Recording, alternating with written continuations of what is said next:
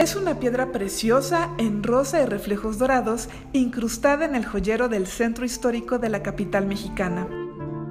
Se trata del Centro Cultural Justo Sierra, un espacio alternativo para actividades artísticas y culturales. Ubicado a espaldas de la catedral, se inauguró en 1941 como una sinagoga construida por los primeros judíos provenientes de Europa Oriental que emigraron a México.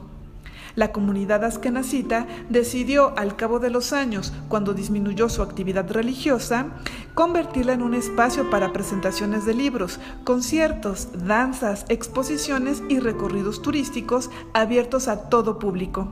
Esta antigua sinagoga forma parte del antiguo barrio judío de la capital mexicana, una pieza indispensable en el rompecabezas multicultural de nuestra historia.